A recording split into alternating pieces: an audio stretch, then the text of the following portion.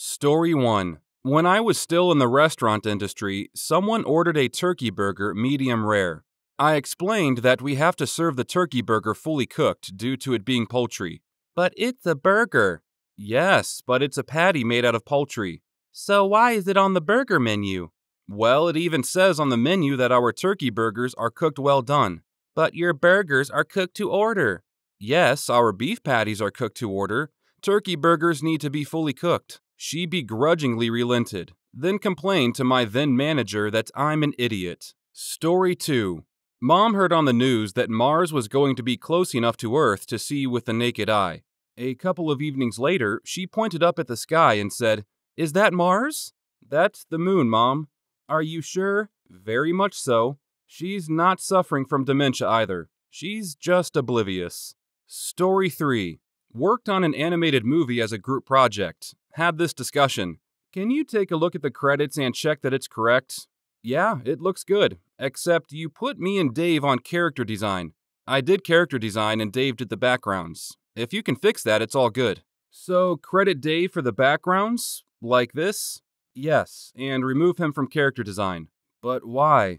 Because he didn't design any characters. I designed every character on screen. But he drew a boat. Yes, but it wasn't a sentient boat, and it was in the background, so it's part of the background design. But he drew a plane. It was also not a sentient plane. Characters are the things that are alive. I seriously don't understand what you want me to do. Remove Dave from character design since he didn't design any. That doesn't sound fair. Hi, Dave. Did you design any characters? Uh, nope. You did all of them, remember? See, Dave didn't design any characters. Can you please remove him from character design? Okay, if it's that important to you. Story 4 Lad I used to know when we were 17 or so once said he knew someone who could run a mile in one minute. When I called bullcrap, he said, How the F would you know? So I said he'd have to be running at 60 miles per hour. He then asked me how I knew that. So I said, Well, if he could run a mile in one minute, that means 60 miles is 60 minutes. Therefore, 60 miles per hour. He then said, That's not how it works. Oh, bless him. Story 5 I had a female coworker who got really upset when Prince Harry got engaged to Meghan Markle. When I asked why, she said it was because she wanted to be a princess.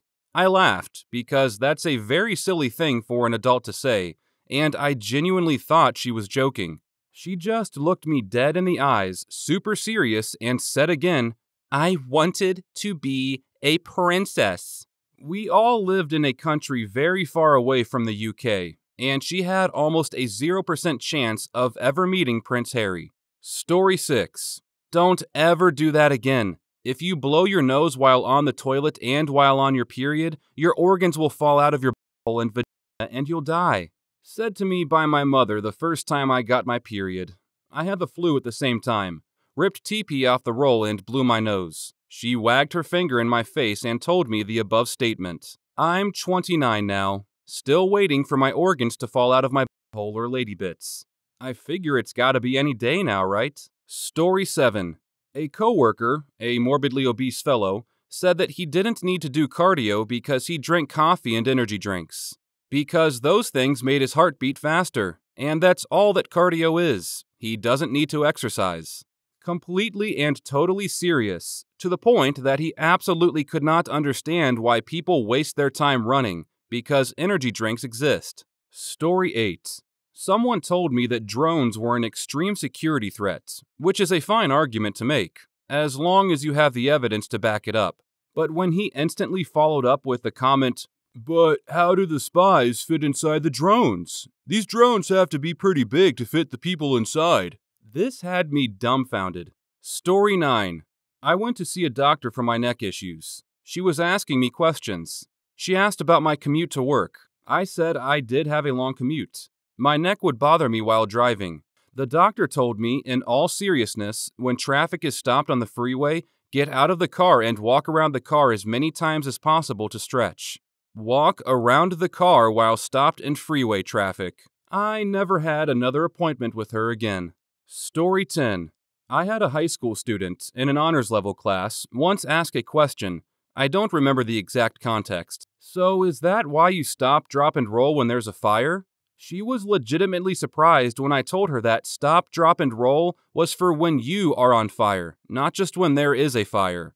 Story 11 I knew a girl in high school who thought chipmunks were baby squirrels.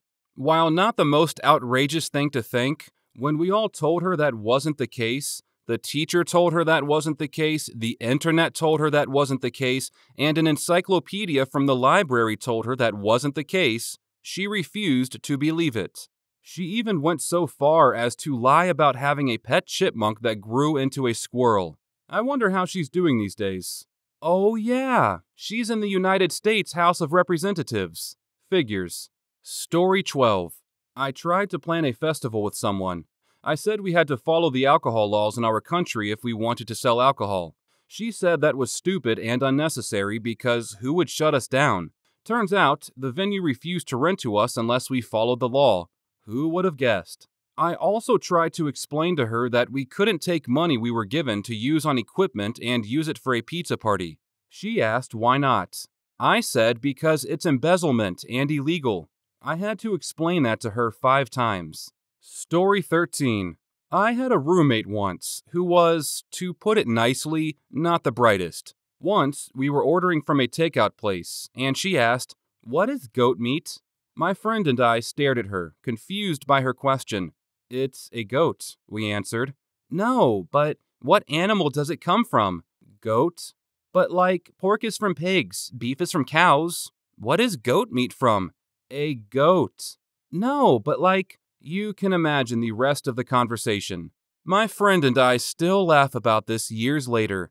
Not the stupidest thing she ever said, but definitely my favorite. Story 14 I had a tooth crack in Afghanistan. Dentist effed up the patchwork. Two months later, my root abscessed into my sinus. Incredible, incredible, and unique pain. Emergency flight to a base with a dentist. They pull the tooth, which caused a hole from my mouth directly into my sinus. Took three weeks to heal. Dentist did not give me a single post op painkiller. I spent all night sobbing in pain, bleeding all over my shirt. Before going in the next day, the dentist stopped at my belay, sees me in a blood soaked shirt, eyes sunken and red from crying and in pain all night, and asks in a complete serious voice, How are you feeling? Bad, Captain. I feel bad. Story 15. Not to me, but my 10th grade history teacher insisted to our German exchange student that they celebrate Thanksgiving in Germany, like the American holiday.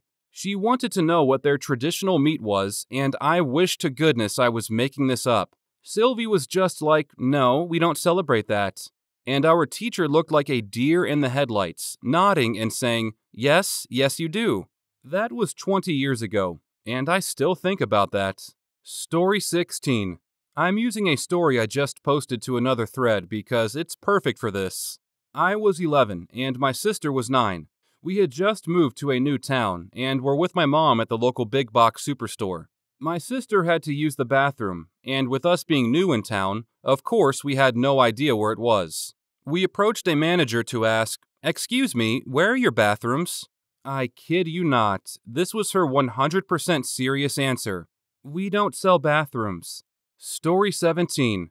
I work at my husband's auto repair shop. After discussing next steps with a customer, I told them their gas light was on. They sighed and said, Ah, great. How do we fix that? My response was dead silence. I was trying to determine if they were messing with me or not. They realized during my silence, with the look on my face, that they just needed to put gas in the car. They are one of my favorite customers now, and they certainly keep me on my toes. Story 18 Pointing at a photo of a cave in the distance I took in Israel. In that cave, they found the 2,000 year old Dead Sea Scrolls. My friend, were they still alive? Me, befuddled. Were who still alive? The squirrels, the Dead Sea Squirrels. Story 19 Traveling 200 miles through Mexico about 30 years ago via bus at nighttime and the driver never turned on his lights. I sat just a few seats behind the driver, and as it was a moonlit night, he could somehow navigate the white crushed rock roads all night without any headlights at all. I was white knuckle frozen all night for this trip and didn't dare to fall asleep. When we got to the bus station in Guadalajara in the morning, I asked one of the other bus drivers why a driver would drive with no lights at all. He looked at me like I was dumb and said, To save electricity, of course. Story 20. You're not really disabled, though.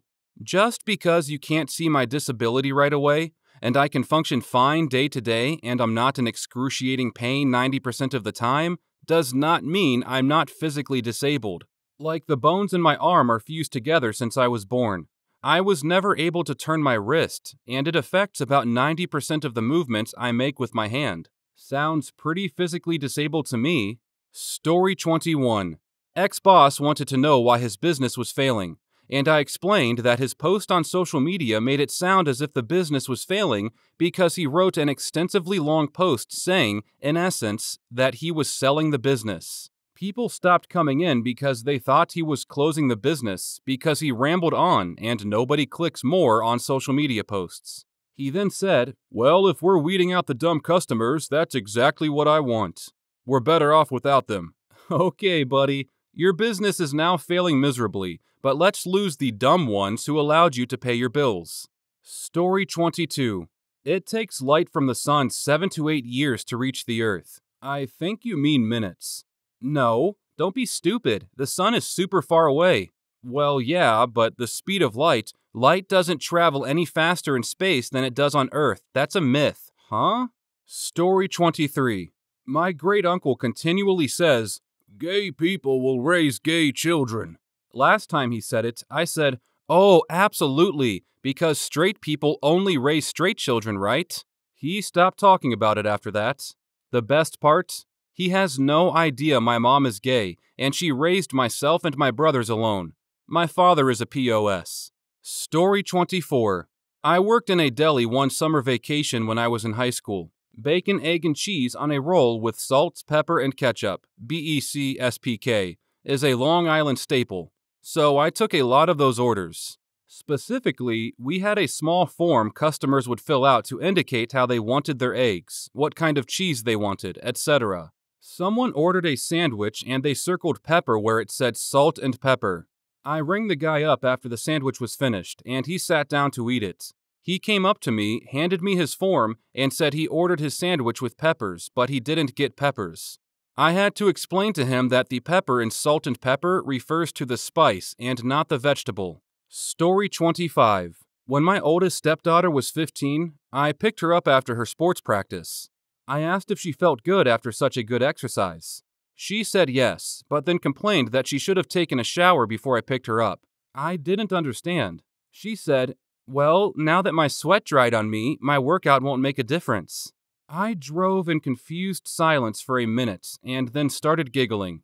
Wait, do you think that your body reabsorbs fat through your sweat if you don't shower quickly enough? I finally managed to ask. She also started to laugh and admitted that's what she thought, and that now she heard it out loud, it made no sense. We talked about biology the whole trip home. She's in her second year of nursing school now and acing her classes. Story 26 I was once told by a math teacher that there was no such state as West Virginia, only Virginia. He did this in front of the whole class of ninth graders and made fun of me. This was before smartphones. The next day, I took my parents' atlas that we kept in the car to school and laid it out on his desk at the pages for West Virginia. I wanted to say, Who looks stupid now? But I did not. He said, Fair enough, idiot. Story 27.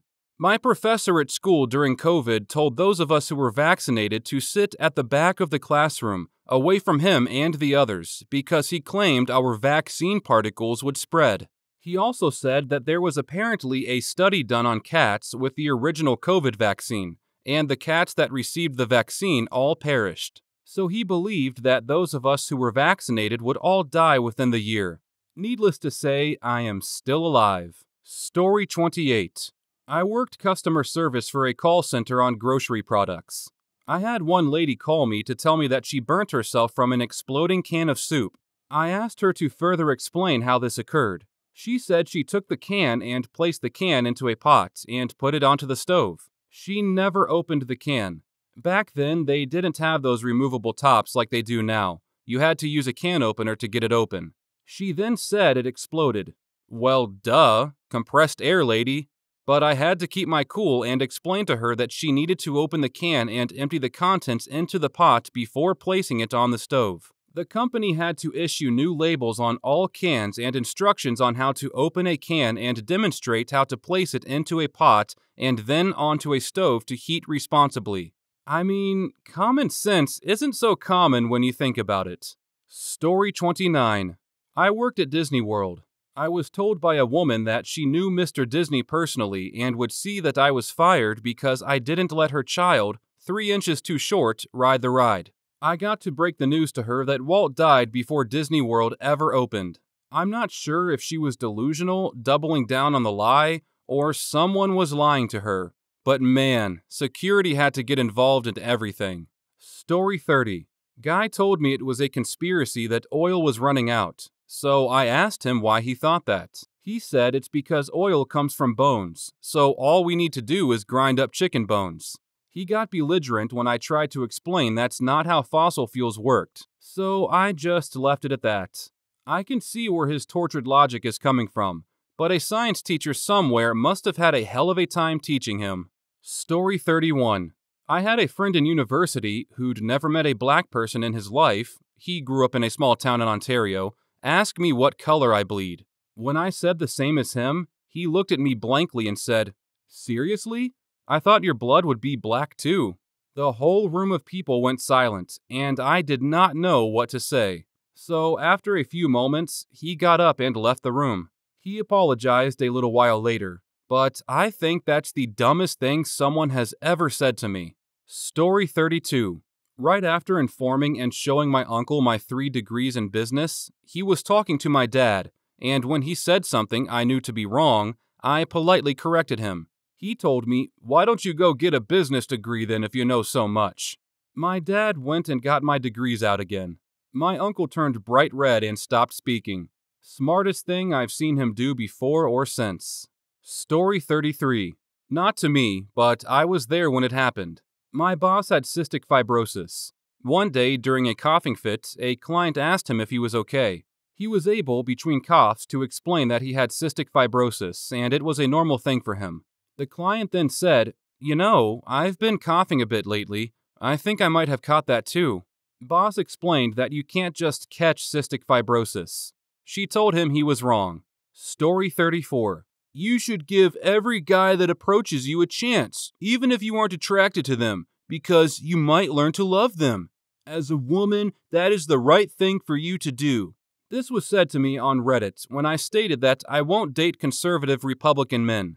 I was accused of bullying and hate speech, and a bunch of butthurt men reported me. I almost lost my account. Story 35 I had a bad argument with my then girlfriend, which led to our breakup when she insisted that Jesus Christ was white. What's her rationale?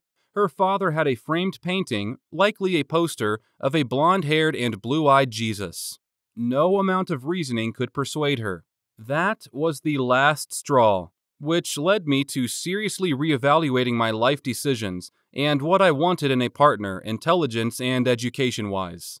Story 36 when I was still in graduate school, there was a PhD schoolmate who mocked the current research in pattern recognition, saying, It's just labeling data according to your own intentions, letting the model aim at your preset goals to produce results. To put it bluntly, pattern recognition is making up fake data to serve your journal papers. I later repeated this statement verbatim to other mates, and everyone was shocked. They could not understand how someone studying for a PhD in control science could have such views. Later, it was discovered that he could not even explain the principle of SVM clearly. Story 37 An old colleague asked, Does the cow have to die to get the leather off? I said, No, they do it in the summer. The same chap believed that when a bank had been robbed with a sawn off shotgun, that the manufacturer of the shotgun was a company called Sawn Off. Story 38 A morbidly obese friend eating a family sized bag of Cheetos claimed that it was fine because it was only 500 calories. Yeah, per serving. There were 20 servings in that bag. He had spent his whole life blaming his weight on all sorts of issues out of his control and claimed he always checked the calories of the things he ate, but never noticed once the per serving part. He was close to 600 pounds then. He's down to about 185 pounds now, since he learned to actually read. Story 39. First, a little background. I was in special ed from 3rd grade to 12th grade. I had the same girl in my class for all of those years, and she was always nice, but sometimes would say things that made me question how she graduated kindergarten. The best example of this was in our senior year of high school. Our math teacher brought in his yearbook from the 1980s. Since the yearbook was from the 80s, all of the photos, or at least the majority of them, were in black and white. This girl, with complete seriousness, asked if it was black and white in real life. Then again, she never pays attention in class, so that probably explains it.